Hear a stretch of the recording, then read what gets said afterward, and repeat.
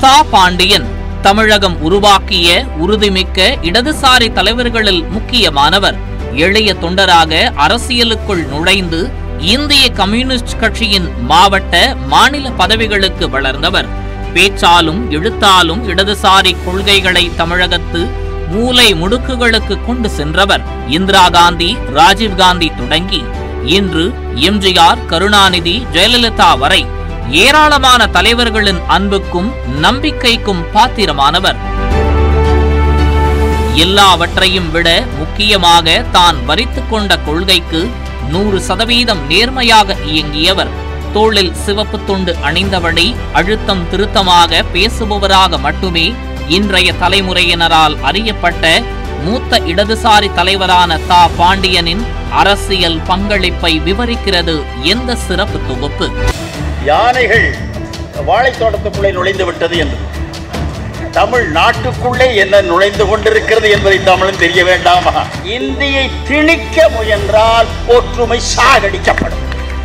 எவனோ ஒருவன் பழித்தான் என்றால் காவா நாவில் கனக விஷயனை கட்டி எடுத்து வந்தேன் என்று மேடை போரும் முழங்கிய தமிழன் இன்றைக்கு உன் கழுத்தை இருப்பேன் நாக்கை இருப்பேன் என்றாலும் பொறுமையோடு இருக்கிறீர்கள் என்று சொன்னால் இதுவும் நடக்கும் இன்னமும் நடக்கும்.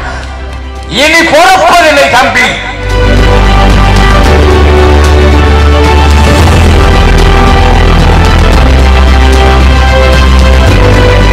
மதுரை மாவட்டம் உசிலம்பட்டிக்கு அருகே உள்ள சின்னஞ்சிறு கிராமம் வெள்ளமலைப்பட்டி. அந்த கிராமத்தில் பணியாற்றிய பள்ளி ஆசிரியர் டேவிட் நவமணி தம்பதிக்கு நான்காவது மகனாக பிறந்தவர் தா. பாண்டியன்.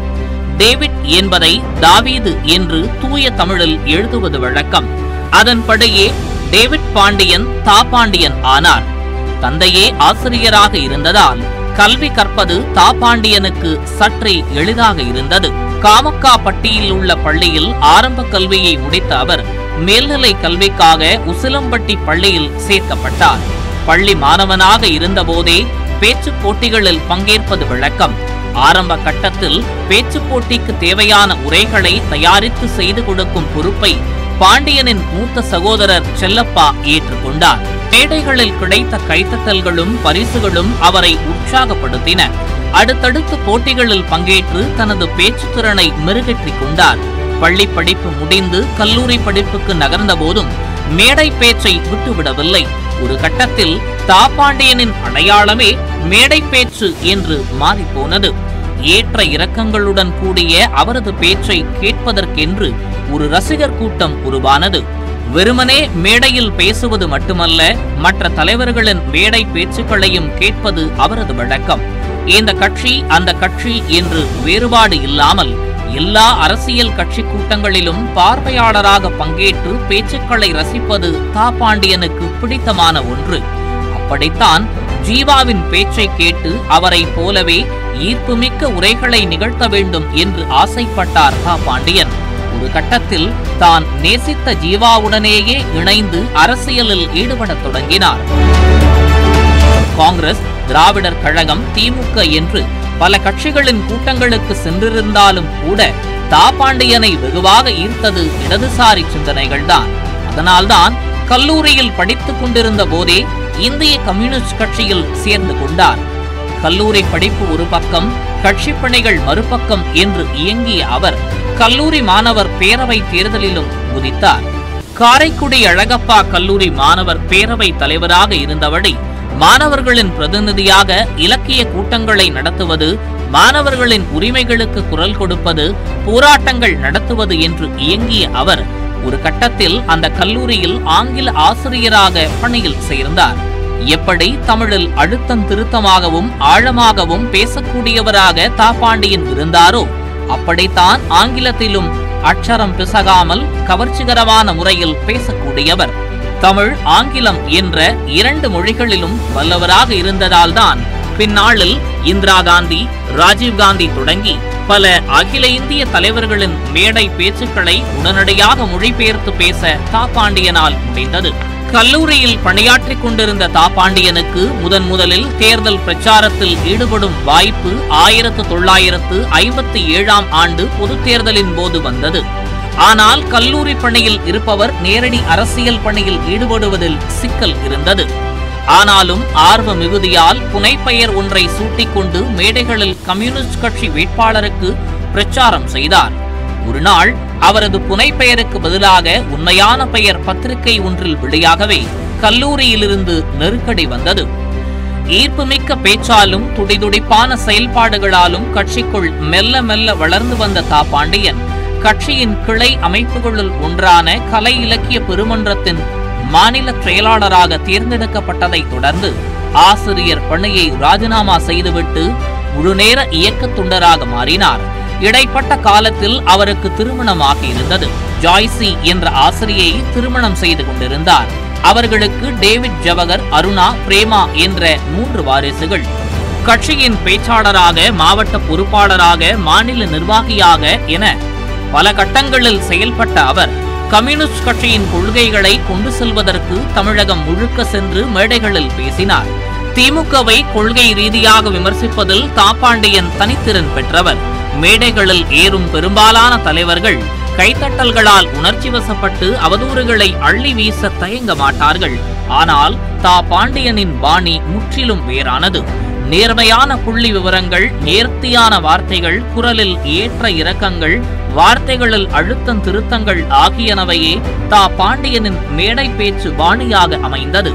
தீவிர திமுக விமர்சகர்களில் ஒருவராக அறியப்பட்ட தா பாண்டியன். ஒரு கட்டத்தில் எம்ஜிஆருக்கு மிகவும் நெருக்கமானவராக மாறிப்போனார். அதற்கு முக்கியமான காரணம் திண்டுக்கல் இடைத்தேர்தல் பிரச்சாரத்தில் நடந்த ஓர் உணர்ச்சிகரமான நிகழ்வு. ஆம் திமுகவிலிருந்து முழுமையாக விலகி அதிமுக என்ற தனிக்கட்சியை தொடங்கிய சமயத்தில் எம்ஜிஆருக்கும் அதிமுகவுக்கும் உறுதுணையாக இருந்த கட்சி எம். கல்யாண சுந்தரம் தலைமையிலான இந்திய கம்யூனிஸ்ட் கட்சி திமுக அமைச்சரவைக்கு எதிராக எம்ஜிஆர் நடத்திய போராட்டங்களின் போது அவருக்கு ஆதரவாக எம் கல்யாண சுந்தரமே இருந்தார்.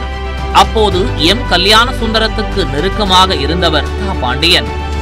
தமிழகம் முழுக்க எம்ஜிஆருக்கு ஆதரவான கூட்டங்களை இந்திய கம்யூனிஸ்ட் கட்சி நடத்திய போது அவற்றில் நட்சத்திர பேச்சாளராக பங்கேற்றவர்களில் தா. பாண்டியன் முக்கியமானவர். அந்த பேச்சுக்கள் சிலவற்றை எம்ஜிஆரும் கேட்டு தா. பாண்டியனை பாராட்டியிருக்கிறார். அந்த சூழலில்தான் திண்டுக்கல் மக்களவை தொகுதிக்கு இடைத்தேர்தல் வந்தது. அதில் அதிமுக வேட்பாளராக மாயத்தேவர் போட்டியிட்டார். அப்போது திண்டுக்கல் மக்களவை தொகுதிக்குள் வரும் உசிலம்பட்டி சட்டமன்ற தொகுதிக்கான தேர்தல் பொறுப்பை அப்போதைய மதுரை மாவட்ட இந்திய கம்யூனிஸ்ட் செயலாளர் தா. பாண்டியன் ஆண்டித்தேவர் காளிமுத்து ஆகியோரிடம் ஒப்படைத்திருந்தார் எம்ஜிஆர்.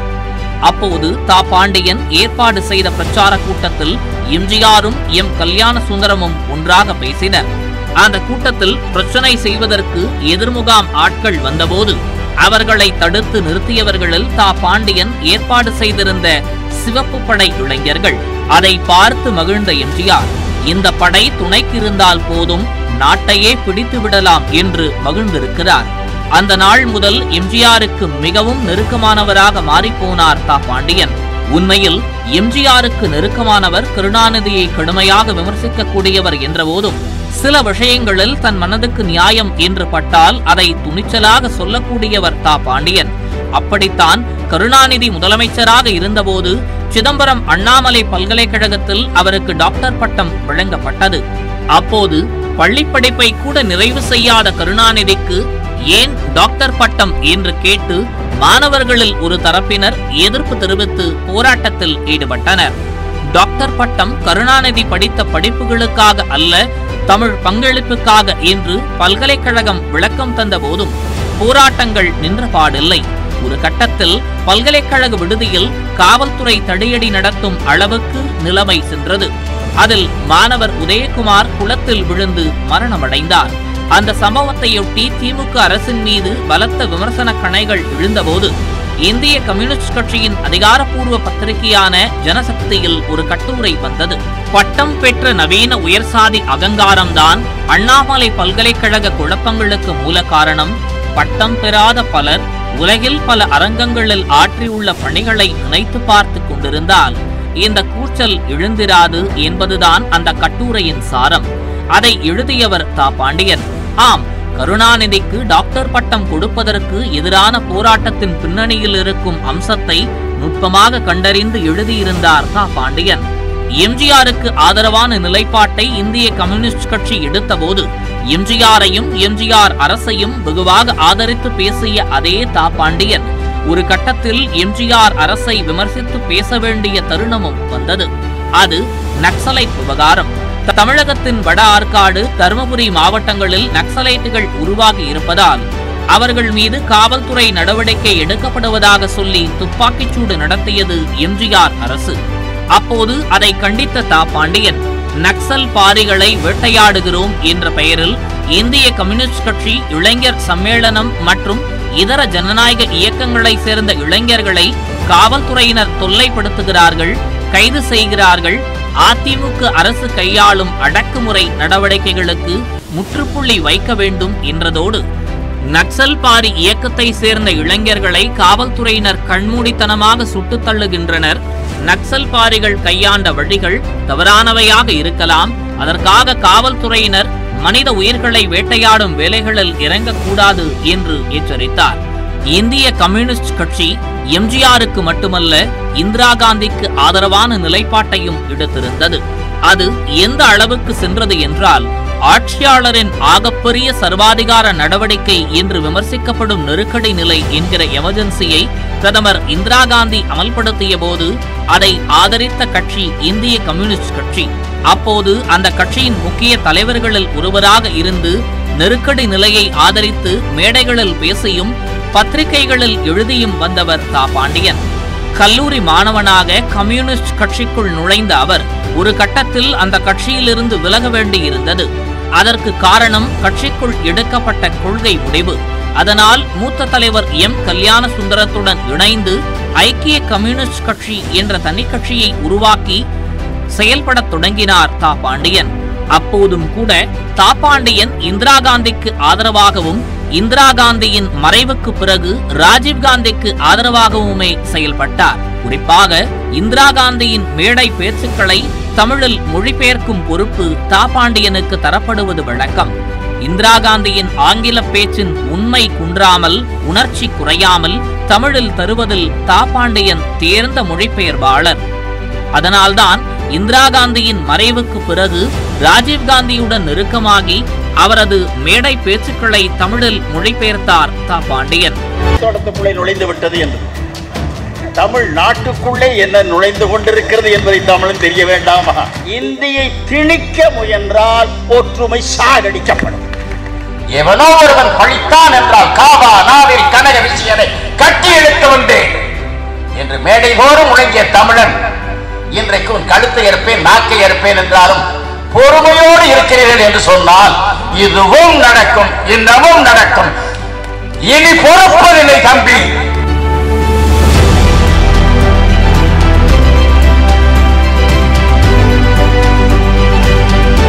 எம்ஜிஆரின் மரணத்துக்கு பிறகு நடந்த மக்களவை தேர்தலில் அதிமுக இந்திரா காங்கிரஸ் கூட்டணியில் ஐக்கிய கம்யூனிஸ்ட் கட்சி இடம்பெற்றது அப்போது ஐக்கிய கம்யூனிஸ்ட் கட்சிக்கு வடசென்னை தொகுதி ஒதுக்கப்பட்டது.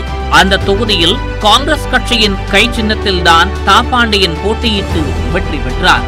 அதே போல ஆயிரத்தி தொள்ளாயிரத்து தொன்னூற்று ஓராம் ஆண்டு மக்களவை தேர்தலிலும் அதே வடசென்னை தொகுதியில் மீண்டும் கை சின்னத்திலேயே போட்டியிட்டார் தா பாண்டியன். ஆனால் அந்த தேர்தல் பிரச்சாரத்தின் போது தொடர்ச்சியாக ராஜீவ்காந்தியுடன் பயணம் செய்தவர் தா பாண்டியன்.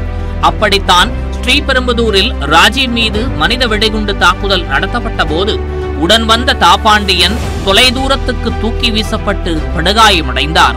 உண்மையில் ராஜீவோடு கொல்லப்பட்டவர்கள் பட்டியலில் முதலில் தாப்பாண்டியனின் பெயரும் இடம்பெற்றது. ஆனால் பிறகு அவர் உயிருடன் இருப்பது கண்டறியப்பட்டு தொடர் மருத்துவ சிகிச்சைகள் தரப்பட்டன. அப்போது ஏற்பட்ட உடல் மற்றும் மனக்காயங்களிலிருந்து அவர் மீண்டு வரவே பல மாதங்கள் ஆயின. அந்த தேர்தலின் முடிவில் மீண்டும் வடசென்னையில் வெற்றி பெற்றிருந்தார். சரியாக சொல்ல வேண்டும் என்றால் படுத்துக்கொண்டே ஜெயித்திருந்தார் தா பாண்டியன். அப்போது ராஜீவ் கொலை வழக்கு தொடர்பான விசாரணை ஆணையங்களில் தா பாண்டியனின் முக்கியமான ஆதாரங்கள் பதிவு செய்யப்பட்டன. பின்னர் தமிழகத்தில் ஜெயலலிதா அரசு அமைந்து தடா சட்டத்தின் கீழ் விடுதலை புலி ஆதரவாளர்கள் மீது தீவிர நடவடிக்கைகள் எடுக்கப்பட்ட போது அதை வெகுவாக ஆதரித்து பேசியவர் தா பாண்டியன். விடுதலை புலிகள் என்ற பெயரில் உள்ள தேசவிரோத சக்திகளை ஒடுக்குவது ஒரு முக்கியமான நடவடிக்கை. அவர்களை விடுதலை வீரர்கள் என்று சொல்வதே தவறு. சொந்த சகோதரர்களை மக்களை கொல்பவர்களை சுதந்திரத்துக்காக போராடுபவர்கள் என்று எப்படி சொல்ல முடியும்? அது ஒரு கொலைகார கும்பல் அப்படி ஒரு வன்முறை கும்பலை கட்டுக்குள் வைப்பதில் ஜெயலலிதா அரசு முதல் சுற்றில் வெற்றி பெற்றுள்ளது என்று பாராட்டினார் தா. பாண்டியன். எம் கல்யாண சுந்தரத்தின் மறைவுக்கு பிறகும் ஐக்கிய கம்யூனிஸ்ட் கட்சியை நடத்தி வந்த தா பாண்டியன் ஒரு கட்டத்தில் இந்திய கம்யூனிஸ்ட் கட்சியுடன் மீண்டும் இணைந்து கொண்டார். சில ஆண்டுகள் கட்சியின் தேசிய குழு உறுப்பினராக மட்டும் தொடர்ந்த அவர் நல்லக்கண்ணுவின் விலகலுக்கு பிறகு இந்திய கம்யூனிஸ்ட் கட்சியின் மாநில செயலாளராக தேர்ந்தெடுக்கப்பட்டார். இந்திய கம்யூனிஸ்ட் கட்சியின் மாநில செயலாளர் பொறுப்புக்கு போட்டி ஏற்படுவது வழக்கமில்லை. ஆனாலும் தாப்பாண்டியன் தேர்தலில் போட்டியிட்டே மாநில செயலாளர் ஆனார். ஆம் மாநில செயலாளருக்கான தேர்தலில் தாப்பாண்டியன் எஸ். எஸ். தியாகராஜன் இடையே போட்டி ஏற்பட்டது. அப்போது தாப்பாண்டியன் எண்பது வாக்குகளையும் தியாகராஜன் நாற்பத்தி ஆறு வாக்குகளையும் பெற்றனர். அப்படி மாநில செயலாளராக பொறுப்பேற்ற தாப்பாண்டியன் பத்தாண்டுகளுக்கு அந்த பதவியில் நீடித்தார். இடைப்பட்ட காலங்களில் பேச்சையும் எழுத்தையும் மிக தீவிரமாக பயன்படுத்தினார் தா பாண்டியன் குறிப்பாக கட்சி எடுத்த நிலைப்பாடுகளுக்கு ஏற்ப அதிமுக திமுக காங்கிரஸ் பாஜக என்று அனைத்து கட்சிகளையும் கடுமையாக விமர்சித்து பேசினார் தா. பாண்டியன். குறிப்பாக பாஜக எதிர்ப்பு பிரச்சாரத்தை மிக தீவிரமாக முன்னெடுத்தார். பாஜக ஆதரவு நிலைப்பாட்டை அதிமுக எடுத்தபோது அதை கடுமையாக கண்டித்தது போலவே பாஜக ஆதரவு நிலைப்பாட்டை திமுக எடுத்த போதும் விமர்சித்தார். இரண்டாயிரத்து நான்கு மக்களவை தேர்தலின் போதும் இரண்டாயிரத்து ஆறு சட்டமன்ற தேர்தலின் போதும் திமுக காங்கிரஸ் கூட்டணிக்கு ஆதரவாக மேடைகளில் முழங்கிய தா பாண்டியன். இரண்டாயிரத்து ஒன்பது மக்களவை தேர்தலின் போதும் இரண்டாயிரத்து பதினொன்று சட்டமன்ற தேர்தலின் போதும் அதிமுக கூட்டணிக்கு ஆதரவாக பிரச்சாரம் செய்தார். இரண்டாயிரத்து பதினான்கு மக்களவை தேர்தலின் போது பாஜகவும் மோடியும் வீழ்த்தப்பட வேண்டும் என்று பேசிய தா பாண்டியன். அதற்கேற்ப தனது பிரச்சார வியூகத்தை வகுத்துக் கொண்டார். இரண்டாயிரத்து பதினாறு சட்டமன்ற தேர்தலின் போது மக்கள் நல கூட்டணி என்ற தனி அணியை இடதுசாரிகள் உருவாக்கிய போதும் விஜயகாந்தை முதல்வர் வேட்பாளராக அறிவித்த போதும் தா பாண்டியனிடமிருந்து பெரிய அளவில் ஆதரவு குரலும் எழவில்லை எதிர்ப்பு குரலும் எழவில்லை. மாறாக மக்கள் நல கூட்டணி என்பது மாற்று அரசியல் முயற்சி அல்ல அதே சமயம் கட்சி எடுத்துள்ள முடிவை ஒரு தொண்டனாக ஏற்கிறேன் என்றார். அதன் அர்த்தம் வெளிப்படையானது. இரண்டாயிரத்து பத்தொன்பது மக்களவை தேர்தலின் போது தீவிர மோடி விமர்சகராக பாஜக எதிர்ப்பாளராக தனது குரலை தொடர்ச்சியாக பதிவு செய்தார். டிமானிட்டைசேஷன் காஷ்மீர் சிறப்பு அந்தஸ்து ரத்து அயோத்தி விவகாரம் என்று பாஜக அரசின் செயல்பாடுகளை நுணுக்கமாக விமர்சித்தார். அப்போது அவர் பயன்படுத்திய வார்த்தைகளில் துணித்த வேகமும் குரலில் காட்டிய வீரியமும் பலரையும் ஆச்சரியப்படுத்தின. காரணம் அவரது முதுமையும் அவரை பாதித்திருந்த உடல்நல பிரச்சனைகளும் தான். ஆனால் இரண்டையுமே பொருட்படுத்தாமல் தான் கொண்ட கொள்கை எது தான் எதிர்க்க வேண்டிய கொள்கை எது என்பதில் திட்டவட்டமாக இருந்து துணிச்சலாக பேசினார். அதுதான் தா பாண்டியனின் பலம். அதுதான் அவரது ஆகப்பெரிய அடையாளம். பேச்சோடு மட்டும் நிறுத்தாமல் பல எழுத்தாவணங்களை உருவாக்கியவர் தா பாண்டியன். ஆம் அறுபதுகளின் தொடக்கத்தில் ஜனசக்தியில் எழுதத் தொடங்கிய அவர் ஏராளமான கட்டுரைகளை எழுதியிருக்கிறார். Karl Marx Che Guevara Fidel Castro உள்ளிட்டோரின் வாழ்க்கை வரலாறுகளை தமிழ் வாசகர்களுக்கு அறிமுகம் செய்ததில் தா பாண்டியனுக்கு முக்கிய பங்குண்டு. இவற்றை தாண்டி தெய்வத்திற்கு என்ன வேலை? கல்லும் கதை சொல்லும் மேடை பேச்சு சோக வரலாற்றின் வீர காவியம் பாரதியும் சாதி ஒழிப்பும் மதமா அரசியலா பெரியார் எனும் இயக்கம் என்பன போன்ற நூல்களை எழுதியவர் தா பாண்டியன். ஐம்பதுகளில் அரசியல் வாழ்க்கையை தொடங்கி சுமார் எழுபது ஆண்டு கால பொது வாழ்வுக்கு சொந்தக்காரராக இருந்து தனது நேர்மையான தரவுகளால் நேர்த்தியான பேச்சுக்களால் தமிழகத்தின் கடை கோடைக்கும் சென்று சேர்ந்த தாபாண்டியன் என்ற பாட்டாளி தோழனின் குரல் இரண்டாயிரத்து இருபத்தி ஒன்று பிப்ரவரி இருபத்தி ஆறு அன்று நின்று போனது. ஆனால் அந்த குரல் ஏற்படுத்திய தாக்கம் தமிழகத்து மண்ணில் தொடர்ந்து உழைத்துக் கொண்டே இருக்கும்.